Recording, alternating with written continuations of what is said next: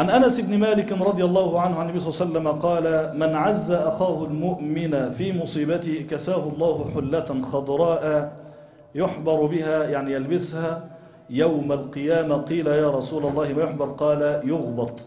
عذرة يحبر أي يغبط يعني اللبسة هذه نشوف نشوفه تغبطوا عليها. والغبطة طبعا غير الحسد. الحسد يعني تمني النعمة مع زوالها عن الآخر. خلاص؟ تمني النعمة مع زوالها عمن هي عنده. فلان عنده نعمة وغني وما إلى ذلك تتمنى أن ربنا يغنيك وياخدها من عنده. فهذا اسمه حسد. لكن الغبطة أنك أنت تغبط أخاك هو في نعمة تقول اللهم بارك له فيما أنعمت به عليه وارزقني مثله. فهذه محمودة لكن الحسد مذموم.